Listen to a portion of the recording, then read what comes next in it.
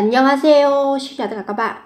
Chúng ta cùng nhau tiếp tục với tập số 14 trong cái series 999 câu tiếng Hàn thực tế nhé. 실전 한국어 999 문장 có nghĩa là 999 câu tiếng Hàn thực tế 실전 có nghĩa là thực chiến hoặc là thực tế.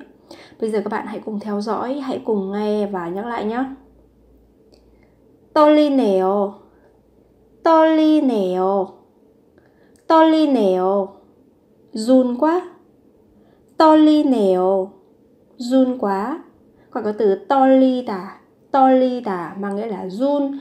Còn 네요 đôi câu cảm thán. 떨리네요. run quá. 못한 것 같아요. 못한 것 같아요. 못한 것 같아요. Chắc không thành hiện thực rồi hoặc là gì nhỉ? Chắc là không thể làm được rồi. Một than có cặt thải chắc không thành hiện thực rồi. gọi có từ một mà nghĩa là không thể, còn một tha tả mang nghĩa là không thể làm và là không thể thực hiện. Còn cái đuôi niên cốt cặt thải là một cái đuôi câu gì nhỉ? Mang nghĩa là gì nhỉ? Hình như hoặc là có vẻ hoặc là chắc là một than cốt cặt thải chắc không thành hiện thực rồi hoặc là chắc không thể thực hiện được rồi. 아쉬워요. 아쉬워요. 아쉬워요. tiếc quá. 아쉬워요. tiếc quá. Các bạn có từ 아쉽다. Cái đuôi gốc của nó là từ bi ướp. Bi ướp ở đây nó sẽ là mang nghĩa là gì nhỉ? tiếc đáng tiếc còn cái biup khi mà các bạn chia từ đôi yo thì sẽ biến đổi thành ủa yo còn gốc nguyên thể của nó là 아쉽다 아쉬워요 tiếc quá 다시 기회 드릴까요?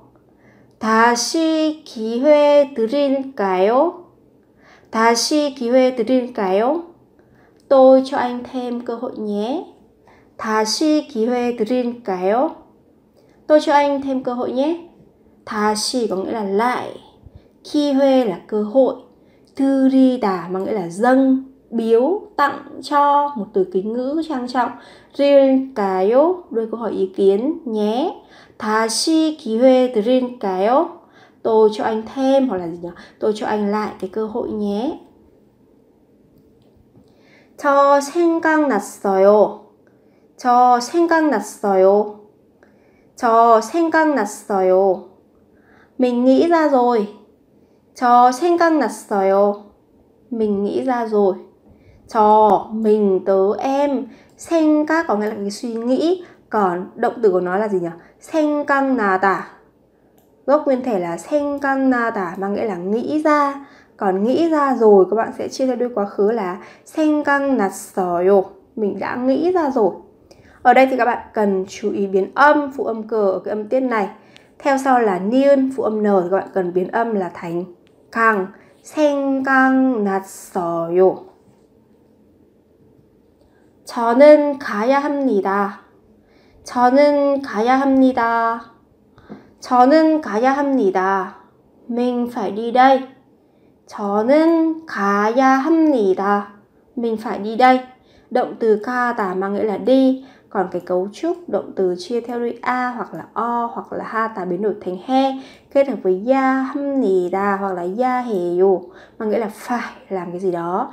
Cho nên, khá ya ham nì, đà, mình phải đi đây. Cho đồ yo cho đồ yo cho đồ yo mình cũng vậy, hoặc là mình cũng thế. Cho mình, em, tớ 또 là cũng yo đôi kết thúc câu một cái lịch sự cho đồ hoặc là cho 도요 mình cũng vậy hoặc là mình cũng thế tức là gì nhỉ 지금 가야 합니다 bây giờ mình phải đi đây thế thì bạn kia nói là cho 도요 mình cũng vậy tức là gì nhỉ 저도 가야 합니다 tức là mình cũng đi đây 갑시다 갑시다 갑시다 đi nào hoặc là đi thôi 갑시다 bi읍시다 gấp đôi phụ âm lên các bạn hiểu là gì nhỉ mang nghĩa là gì nhỉ hãy đi thôi hoặc là hãy đi nào cả người nói và người nghe cùng thực hiện 서둘려요 서둘려요 서둘려요 nhanh lên nào hoặc là vội lên nào gấp gáp lên nào các bạn có từ 서두 서둘려요 phát âm là thành âm l 서둘려요 hoặc là 서둘려요 gốc của nó chính là từ 서둘다 mang nghĩa là gì nhỉ nhanh hoặc là gấp gáp hoặc là vội vã thế thì khi chia, chia theo đi vô thì các bạn cần biến đổi là thành 서둘려요 còn gốc nguyên thể của nó là 서둘다 các bạn nhé 친정해요 친정해요 진정해요 bình tĩnh nào 친정해요 bình tĩnh nào 친정하다 là gốc nguyên thể mang nghĩa là bình tĩnh hoặc là trấn tĩnh 조심해요 조심해요 조심해요 cẩn thận nào hoặc là hãy cẩn thận hoặc là cẩn thận nhé 조심해요 cẩn thận nào 너무 귀여워서 미치겠어요. 너무 귀여워서 미치겠어요. 너무 귀여워서 미치겠어요. Dễ thương phát điên lên được. Dụ là gì nhỉ? 어, 그녀, 그녀는 너무 귀여워서 미치겠어요.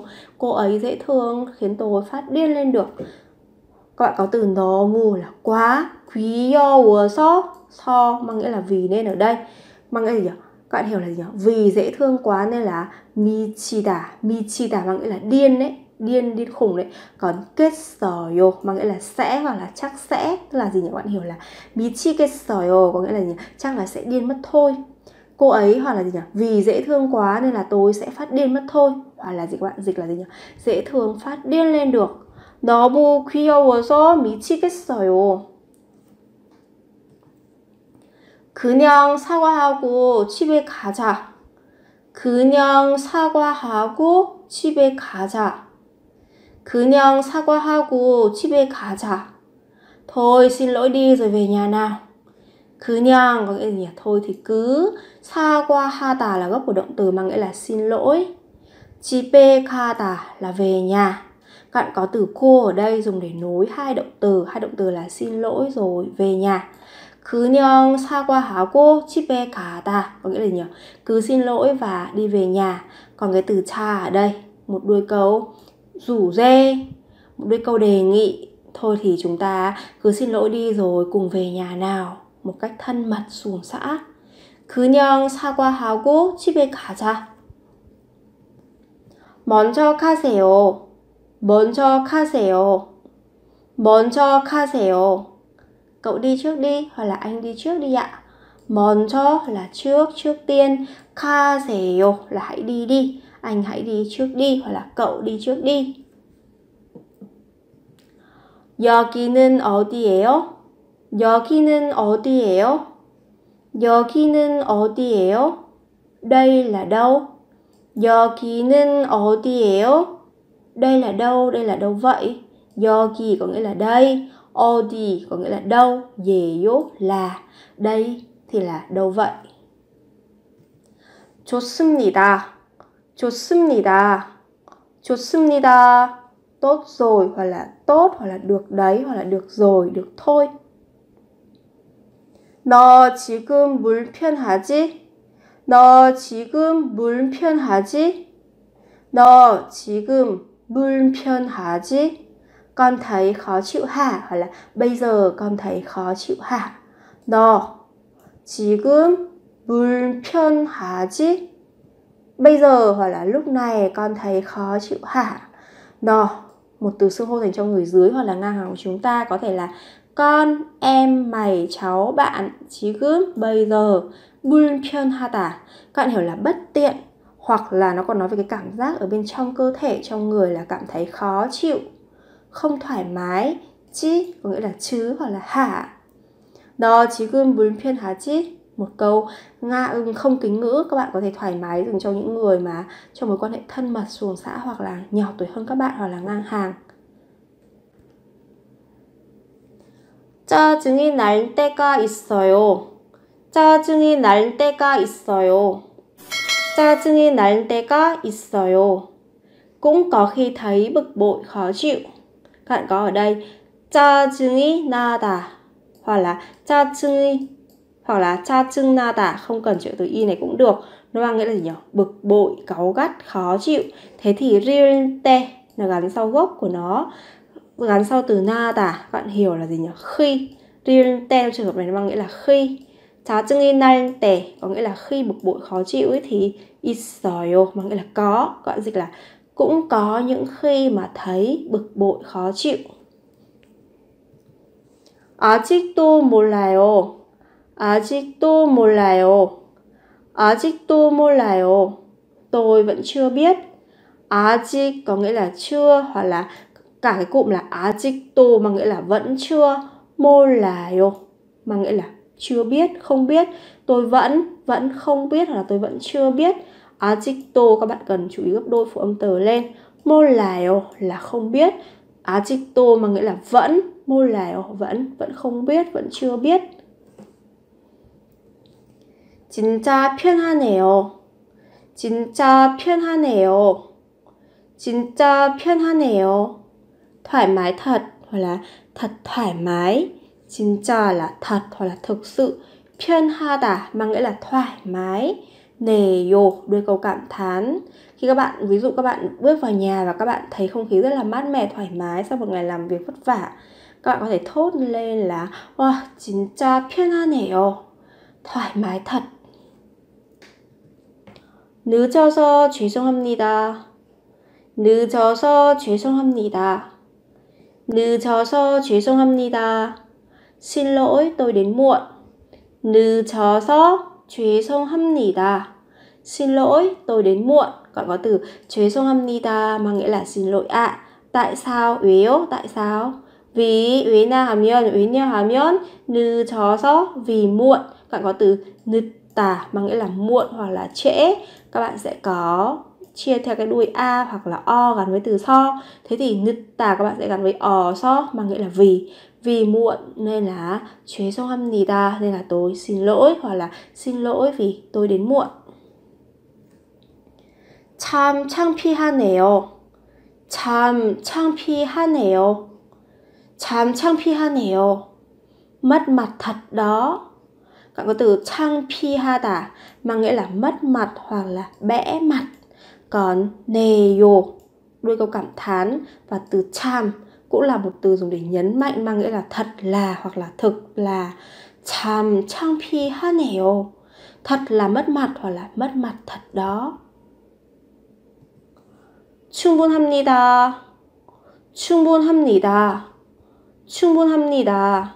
đủ rồi ạ. À các có từ 충분하다 mang nghĩa là đủ, đủ đầy. 충분합니다. đủ rồi, đủ rồi ạ.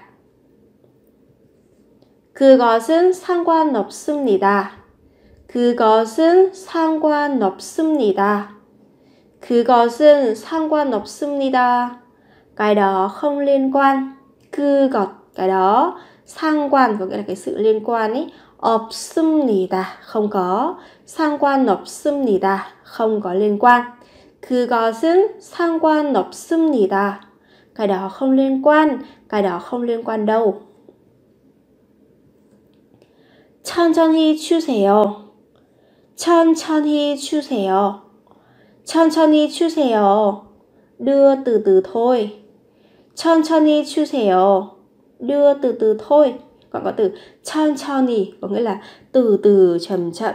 추세요 là hãy đưa, hãy cho.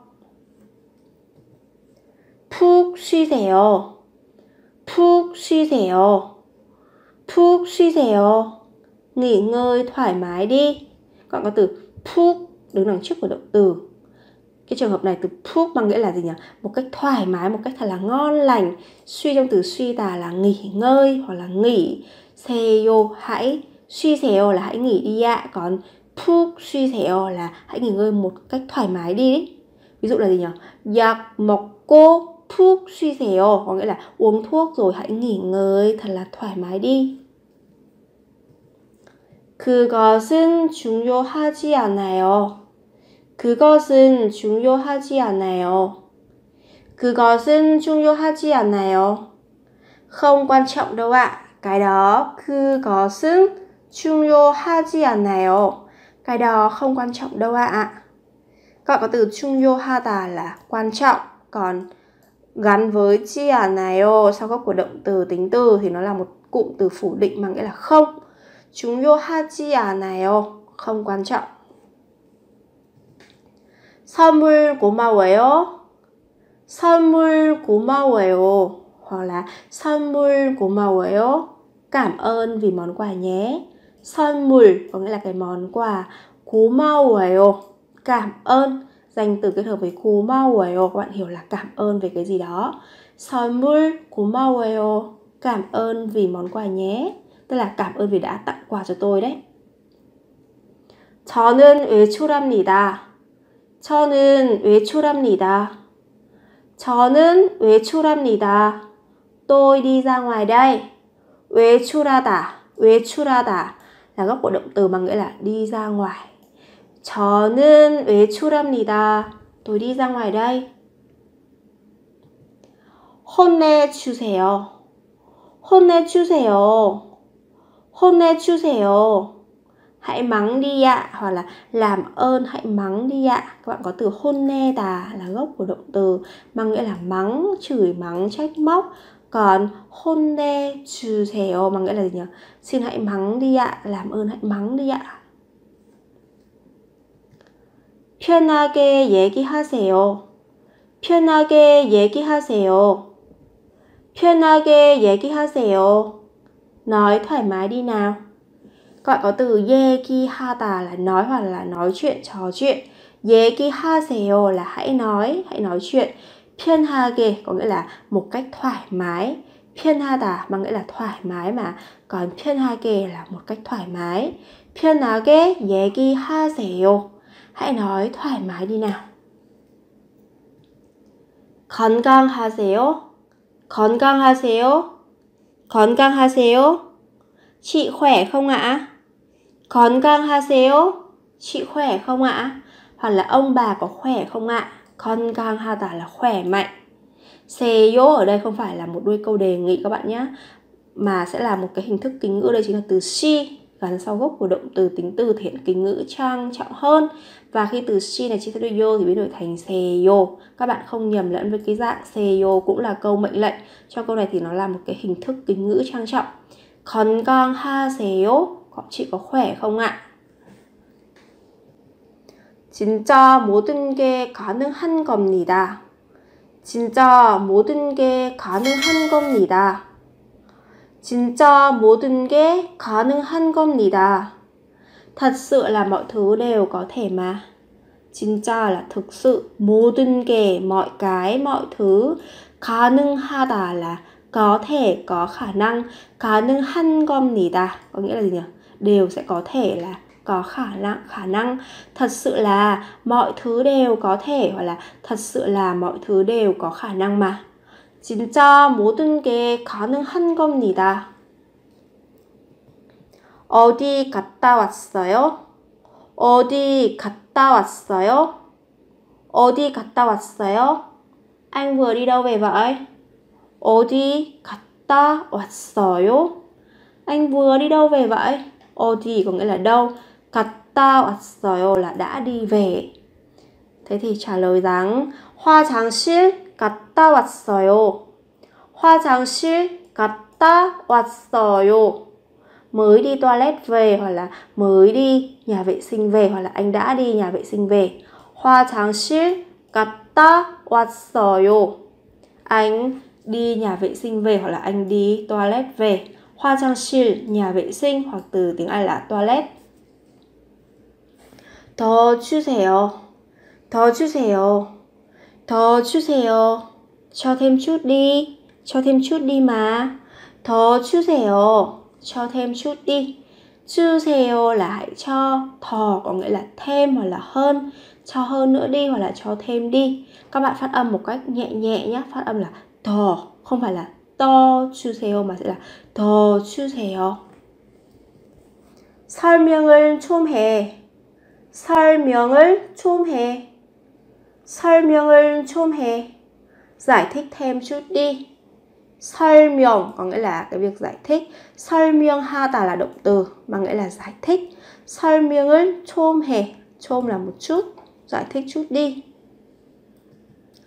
천천히 마셔요 천천히 마셔요 천천히 마셔요 uống từ từ thôi 천천히 có nghĩa là từ từ 마셔요 마셔요 gốc là động từ 마시다 mà nghĩa là uống 아직은 없으니까 조만 더 기다려요. 아직은 없으니까 없으니까 조만 더 기다려요. Vẫn chưa có đâu, các bạn chờ thêm đi. 아직은 없으니까 조만 더 기다려요. Vẫn chưa có đâu, các bạn chờ thêm đi. 아직 có nghĩa là vẫn, 없다 là không có, 아직은 없다 mang nghĩa là gì nhỉ? Vẫn chưa có. Unica mang nghĩa là vì nên. 없으니까 vì vẫn chưa có nên 좀 có nghĩa là một chút. Man là chỉ. Thò có nghĩa là thêm. 좀만 더 có nghĩa là gì nhỉ? Thêm chỉ một chút thôi. 기다려요. Gốc động từ là 기다리다. Tức là gì nhỉ? Vì vẫn chưa có đâu nên là các bạn chờ thêm chỉ một chút thôi. 굉장히 순수하네요. 굉장히 순수하네요. 굉장히 순수하네요. Ngây thơ quá hoặc là vô cùng ngây thơ. 굉장히 có nghĩa là vô cùng hoặc là rất rất là 순수하다 là ngây thơ, hồn nhiên, đề dụ đối câu cảm thán, ví dụ là gì nhỉ? Uhm, ví dụ cô ấy ngây thơ quá 굉장히 순수하네요 cô ấy ngây thơ quá hoặc là cô ấy quá là ngây thơ uhm, chúng ta kết thúc bài học ngày hôm nay tại đây nhé 40 câu ngắn các bạn hãy học tiếng Hàn chăm chỉ nhé hàng ngày thì đều luôn luôn nhắc nhở các bạn đó là hãy học ngoại ngữ, học tiếng Hàn một cách thật là chăm chỉ. Việc học thì phải được duy trì đều đặn hàng ngày. Có như vậy thì các bạn mới tiến bộ được. Chúng ta không nên học ngắt quãng nhé như vậy thì sẽ không thể ghi nhớ ghi nhớ tốt được, rất là nhanh quên và sẽ không hình thành được cái thói quen. Tất cả các bạn phải tạo được một cái thói quen học hàng ngày thì chúng ta mới có thể nói tốt, giao tiếp tốt được. hy vọng rằng những cái chia sẻ trên kênh Hàn Quốc Sarang thì sẽ giúp các bạn có thể dễ dàng hơn trong việc tự học tiếng Hàn có thể giao tiếp một cách thật là tự nhiên thoải mái hẹn gặp lại các bạn ở những video sau 여러분 다음에 또 만나요.